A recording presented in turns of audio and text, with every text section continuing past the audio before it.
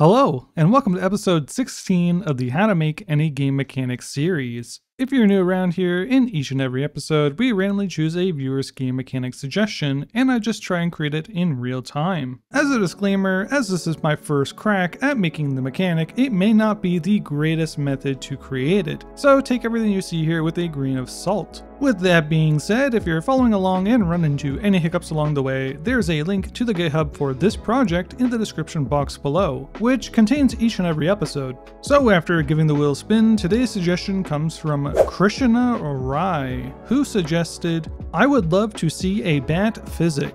Even when you change the bat position, it still swings when clicking the button. I just started learning Unity and making the bat swing with pivot point, but as soon as I change the bat position, it stops working and starts to teleport. I absolutely love it when you guys include so much detail. This seems like a pretty niche topic, but your comment actually has quite a few likes, so it's possible that more of you guys might be running into the same problem. So with that being said, let's tackle this issue and head on over to Unity. I'm in the Unity game engine, and I created an episode 16 folder and an episode 16 scene. We are inside that blank scene now. So as already stated, this seems to be a very specific problem. Although, since you did state bat physics, we might as well go ahead and create something cool while we're here and just use it as a learning experience. In my head, I'm just kind of thinking of some sort of a time-based batting mechanic, but I still kind of want to be able to control the direction of the swing. So to get started today, let's go ahead and let's create a ground. I'm just going to create a 2D object, sprite, and it's going to be a square, and we can just rename it to ground. I'm then going to reset the transform, and then add a box collider 2D. We can then go ahead and scale our ground and move it to the bottom of our scene. So something like that should be fine. While we're here, we might as well go ahead and change our background color. As you know, I absolutely hate this disgusting blue color, so let's click on our main camera, navigate to background type, change it to solid color, and let's give it a nice soft gray. This should do just fine for our purposes, and let's move on to importing some sprites. I've gone ahead and created a few baseball sprites, and I'm just going to open them up on my second monitor, and I'm just going to drag it into the project folder. Let's go ahead and change our import settings. So the sprite mode is going to be multiple, pixels per unit is going to be 16, filter mode point no filter, and no compression. I'm then going to open up the sprite editor, and you can see all of these sprites I made. I made a character, a baseball bat, a baseball. This is going to be for our UI, as well as this little tiny indicator. We can go ahead and we can slice this to be 32 by 32, which is just the resolution I created these sprites in. So with those all sliced up, I'm going to hit apply, and our sprites are now successfully imported. Now we can go ahead and create our player. I like to just create a blank object, so just create an empty, let's call it player. Let's make sure we reset that transform. And I'm just going to open up my sprites and drag the player sprite to be a child of our player object. Moving on, let's right click on our player, main parent object, and create another empty object. And this is going to be for our bat. We can then feel free to drag the bat sprite to be a child of the bat object. I want my bat to be in front of the player, so I'm going to change the sorting layer to be 1. I'm then just going to move this bat parent object over to the side of the player, and maybe even just up a little bit. We can then zoom in, and what I'm going to want to do is select my sprite sheet and just move it so that the handle of the bat is in the middle of the parent object. So if I move it up just like so and then click on the parent object, you can see the bat is now pivoted to the parent right from the handle. We can then just move that back down into place, so just something like this for now. I'm then just going to select my player, zoom out, and just put it at the bottom of our scene. So something like that should just be fine.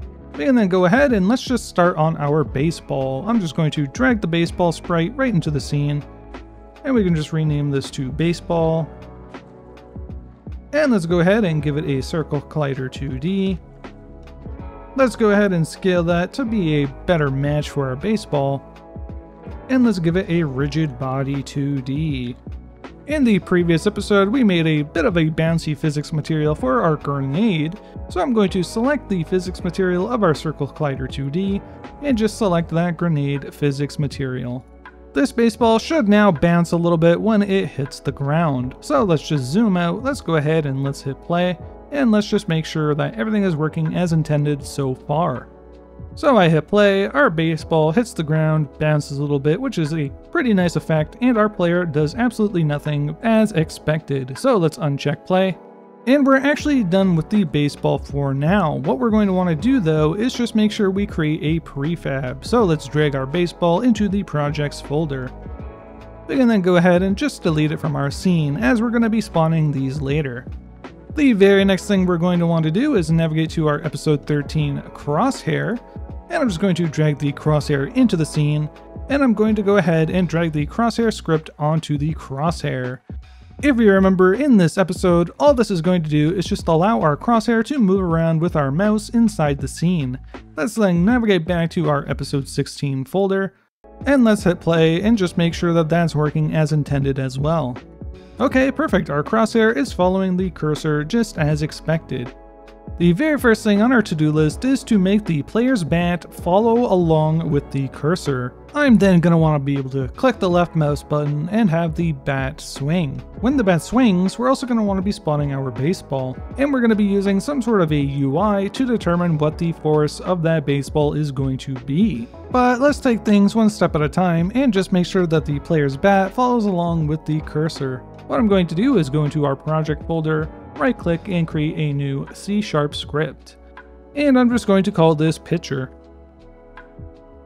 After your script is created, let's go ahead and click on our player and just drag the script on top. So now our player has a pitcher script.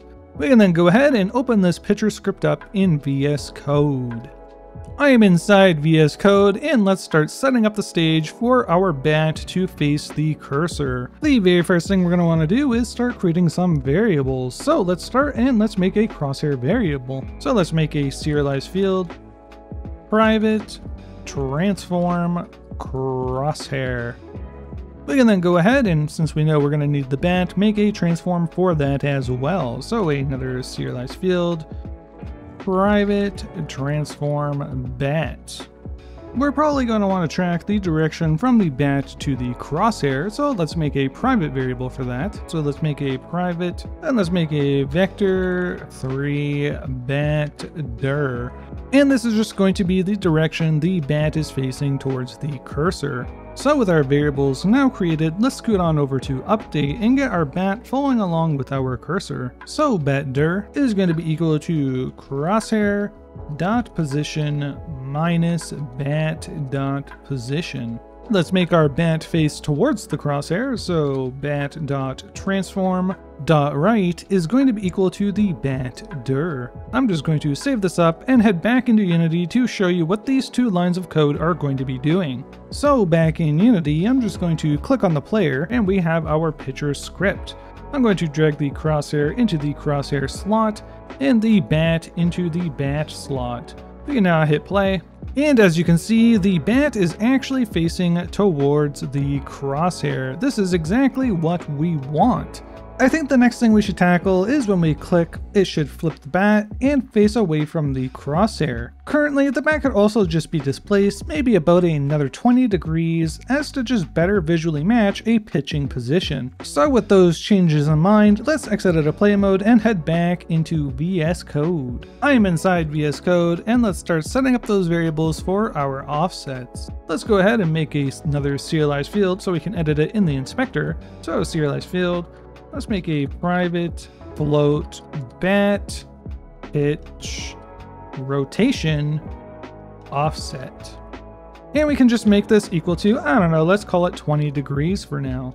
We can then make yet another serialized field, and let's make a private float bat swung rotation offset. And we can just default this to 90. While we're here, we may as well go ahead and make a private bool to tell if we have swung the bat or not. So let's make a private bool and let's just call it swung. Navigating into update, let's go ahead and let's do the logic to determine what has happened if we have swung the bat or not. So let's make a temporary variable, so let's make a vector 3, and we can just call it bat rot, and it's going to be equal to the bats transform dot rotation dot Euler angles. We can then check if we have swung or not, so if swung is equal to false, then we know that we are in the resting pitching position. So the bat dot rotation is going to be equal to quaternion dot Euler bat rot dot x bat rot dot y dot. What we're going to want to do is we're going to want to add our pitch rotation. So let's make a plus bat pitch rot offset. So all this is going to do is make our bat face our crosshair and this just rotated an additional 20 degrees, which is what we have set up here in our variable declaration. We can then do the exact same thing for when we have swung the bat. So if we have swung, then the bat's rotation is going to be equal to quaternion dot Euler and inside bat rot dot x bat rot dot y batrot.z, and then we're going to minus the bat swung rot offset. Before we do anything else, let's scroll down to the bottom of our update function and let's just do a check for input. So if input get mouse button down zero. So if we left click, then swung is equal to not swung. So if it's true, it'll go to false, and if it's false, it will go to true. We can then save this up, and let's head back into Unity. I am back in Unity and looking at our pitcher script, and we have a bat pitch raw offset and a bat swung raw offset, and they're already set to 20 and 90. We can then go ahead and we can hit play, and you can see the bat has a 20 degree rotation away from the cursor, and if I hit the left mouse button, you can see the bat is now somewhat facing the crosshair. It's just offset by 90 degrees. And this is going to be the basis of our pitching mechanic, well at least the visuals anyways. If I continue to just click the left mouse button, you're going to notice that this just looks a little bit off. It looks like he is somehow hitting it and just rotating the bat from this pivot point.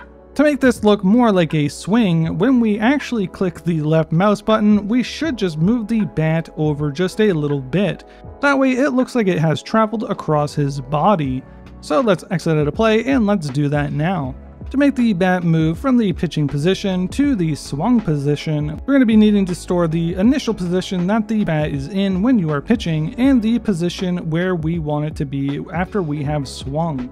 The main point of the comment that Kirshner made, when they attempted this on their own and then moved the player, the bat would actually teleport, and this is due to Kirshner probably not using local position. What we're actually going to be doing is saying keep the bat this distance away from the player parent object, rather than some specific coordinate in world space. That way, when we move the player's parent position, the bat will move to the correct position relative to that player object. So anyways, let's go ahead and make the bat pitching position and the bat swung position. Let's just make two private variables for those, so a private vector 3, we can just call it bat pitch pause, and we can make another private vector 3, and we can say bat swung pause. So let's go ahead and set those positions inside of start. So inside of start, what we're going to want to do is say our bat pitch pause is going to be equal to the bat's local position. So when you start up the game, whatever position the bat is currently in, it's going to stay in that position relative to the player. We can then go ahead and set our bat swung pause. So for the bat swung pause, we're going to be making it equal to a new vector 3. And inside, we're going to have to put an X, a Y, and a Z position. Because we don't know how far away we want our bat to be, it'd be a good idea to make a serialized field at the top of our script. So just make a serialized field, private, and make a float, bat, swung, pause, offset, and it can be equal to 1. What this variable is going to do is just move it one unit away from where we have our bat pitch position. So all we need to do is just say bat pitch pause dot x plus bat swung pause offset. We can then go ahead and just say bat pitch pause dot y and bat pitch pause dot z. So, so with those variables now assigned, let's scroll down to where we are swinging our bat. So just this little bit of logic here. And what we're going to do is just make sure we assign the bat's position to be the correct position. So for the pitching position, let's just make sure we say bat dot local position is going to be equal to the bat pitch pause. We can then do the exact same thing right in our else statement. So bat dot local position is going to be equal to bat swung pause. And with those changes made, let's save this up and let's head back into Unity. So back in Unity, we now have a bat swung pause offset and it's defaulted to 1. We can just keep it as that, we might change it later on depending on how we want to look, but at least the value is there that we can mess around with. So let's go ahead and let's hit play. And you can tell not much has really changed, at least for the pitching position. But when we hit the left mouse button, you can see that the bat moves to a brand new position, and then it just follows the cursor. We can then click yet again, and it goes back to the pitching position. This looks way more in line with actually hitting a ball with a bat, and I'm pretty happy with how it turned out. So the only thing left to do is to make us actually hit some sort of a ball. I think it'd be actually kind of interesting to make some sort of a mini game where there is a force meter, and when we click, it uses that force meter to send the ball hurling towards the crosshair. So to get started, let's exit out of play mode. And let's go ahead and set up that force bar now. So let's make a new UI, let's make a slider, and then let's just click on our canvas and let's make it screen space camera. Let's drag our camera in, and then let's just make it world space. This just solves the problem of having to scale our canvas way down. It just did the majority of that work for us. We can then go ahead and scale our canvas down yet again, and then we can click on our slider and let's just scale this up. So something like that. I'm just gonna make sure that it's in the middle of our canvas. And then we can move the canvas to be somewhat on top of our player. So something like that should be fine. I'm then just going to click on the slider and we can set this up for our bar. Let's make sure that this slider is not interactable. And then because it's now disabled, let's go ahead and make that color a white color and change the alpha back to 255. We can then open up our slider and all we're going to do is just change the visuals a little bit. Let's click on our background and instead of this background source image, let's go ahead and drag our bar into the slot. So something like that. You're gonna notice it's super, super thin, so let's go ahead and let's just stretch that up. So you can kind of see where the slider was before, we should just try and match that the best we can. So something like that should be fine. I'm then going to click on our handle, and instead of this knob, let's use our little indicator that we made. Again, it's pretty small, so I'm just going to scale that up. So something like that, and I actually think it'd probably look a little bit better if we dragged it down. So it's just going to move along this bar. For our fill area, let's open that up. And I'm just going to disable the fill image. So it doesn't actually fill with anything. We can then click on our slider, and if I move this value from left to right, you can see the exact effect we're after. Now, all we have to do is change this value to be something that we want, so something like a force number, and we'll have a nice little indicator of what our force is. I'm going to just select the canvas and move it up a little bit so it's not clipping with the player, and I think that looks pretty good.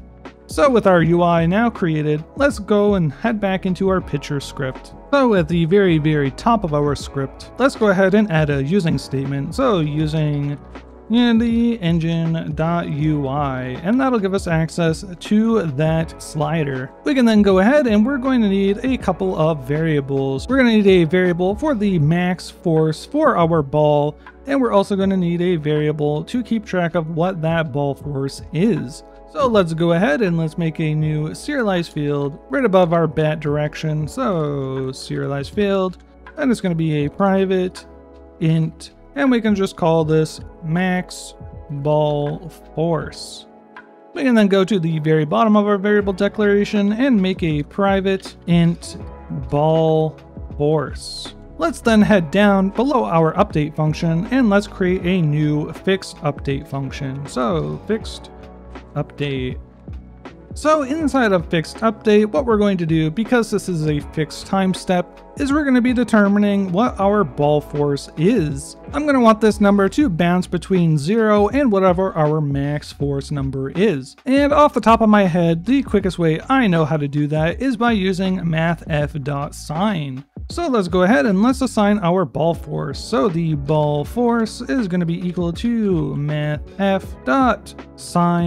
and inside the brackets, we're going to use time dot time by our max ball force. You're going to notice that we have a bit of an error, and that's because it can't convert a float to an int, which our ball force is the int. So what we can do again is just say mathf dot round to int, and then just encapsulate our sine logic in the brackets.